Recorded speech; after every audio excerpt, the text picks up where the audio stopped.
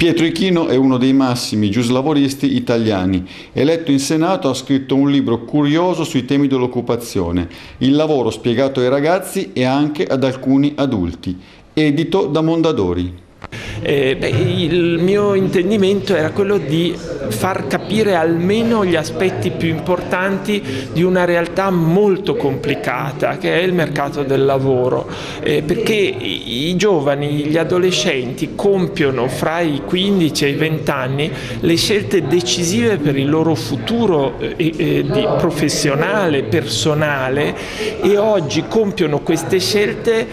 senza avere la minima idea di come funzioni il mercato del lavoro e di ciò che li attenderà nel mercato del lavoro. Eh, questo libro, Il lavoro spiegato ai ragazzi,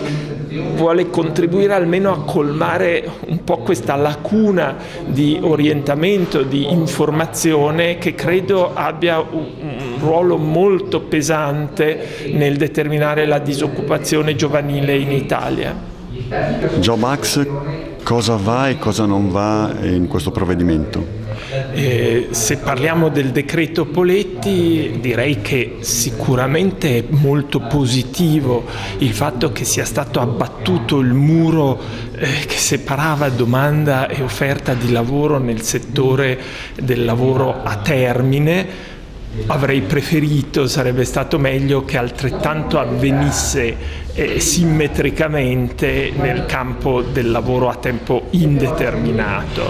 Eh, poi ci sono diverse imprecisioni, eh, difetti di chiarezza nel testo legislativo eh, che però chiariremo e perfezioneremo nel, eh, decreto, nel disegno di legge delega che stiamo esaminando in Commissione.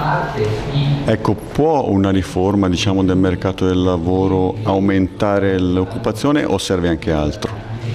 Eh, le norme legislative non creano lavoro, però purtroppo hanno il potere di impedirlo e quindi il migliorare la disciplina legislativa può servire a far aumentare l'occupazione riducendo gli ostacoli, però è ovvio che l'aumento della domanda di lavoro deve essere determinato soprattutto eh, da eh, un aumento degli investimenti e in Italia in particolare dobbiamo puntare sulla apertura del sistema eh, agli investimenti diretti esteri. L'Italia è oggi ermeticamente praticamente chiusa agli investimenti esteri e questo è un grosso problema per la nostra economia. Tra le misure necessarie per aprire il Paese, oltre al miglioramento dell'efficienza delle amministrazioni, alla riduzione del costo dell'energia che in Italia è più alto che altrove, anche un miglioramento del funzionamento del mercato del lavoro è una cosa molto importante.